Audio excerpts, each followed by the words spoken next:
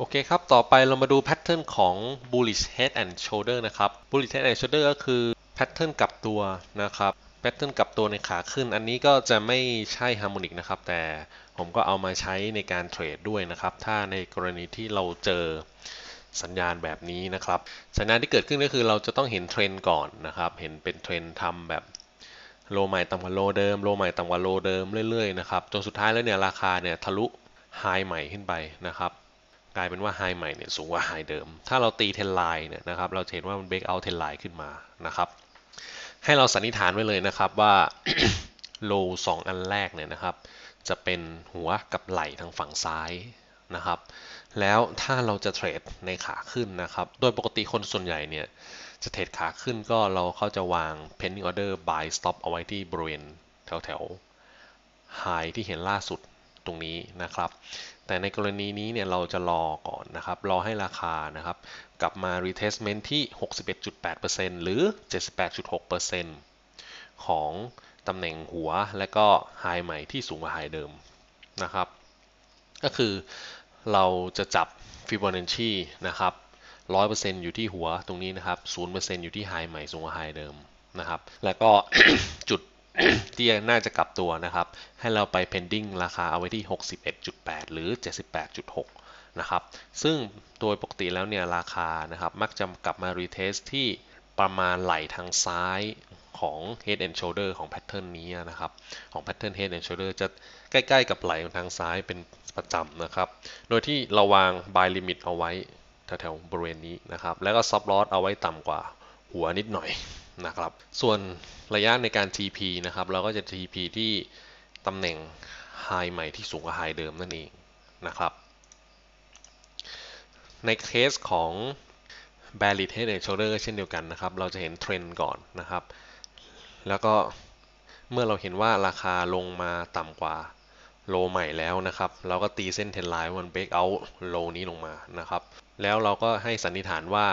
มันน่าจะเกิดหัวกับไหล่ทางฝั่งซ้ายแล้วนะครับ ให้เราทำการตั้ง sell limit รอไว้ที่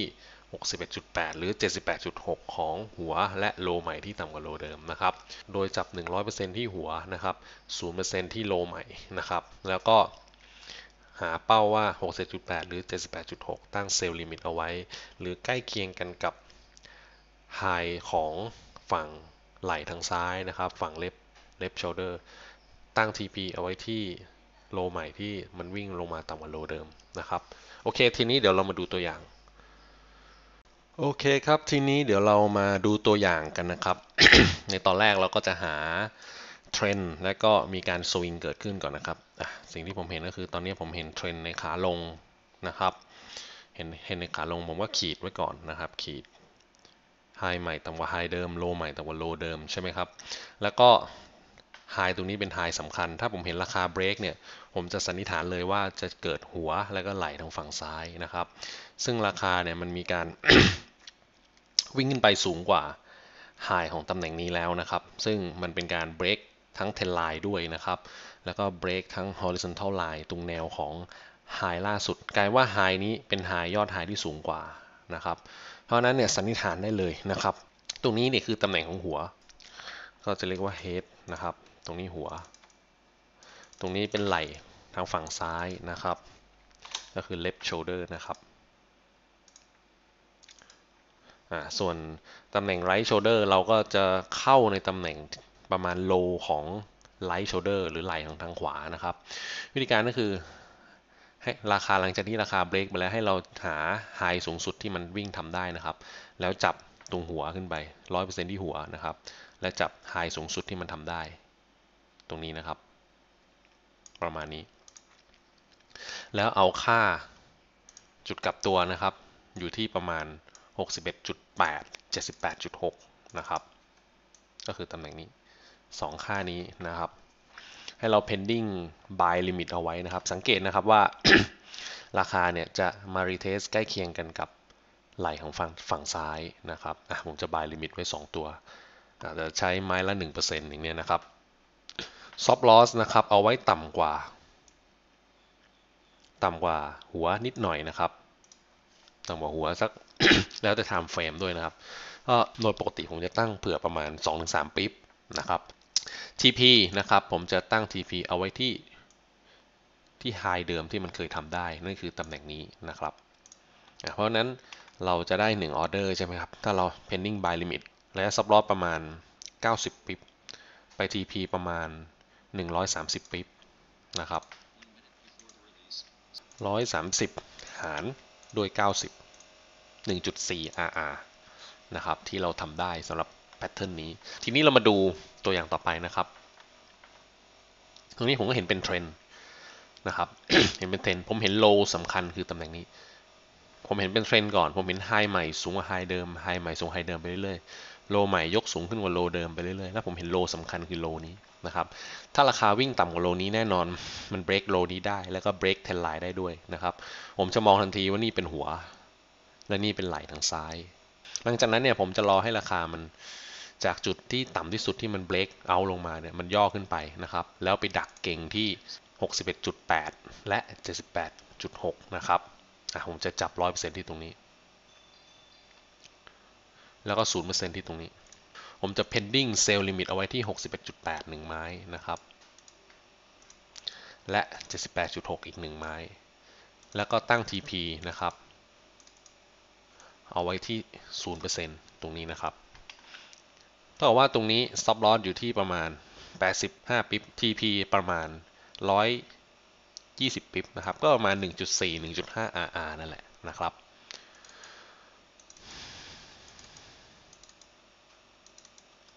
โอเค ทีนี้เรามาดูตัวอย่างตรงนี้ถัดไป ผมเห็นเทรนด์อีกแล้วนะครับ เห็นเป็นเทรนด์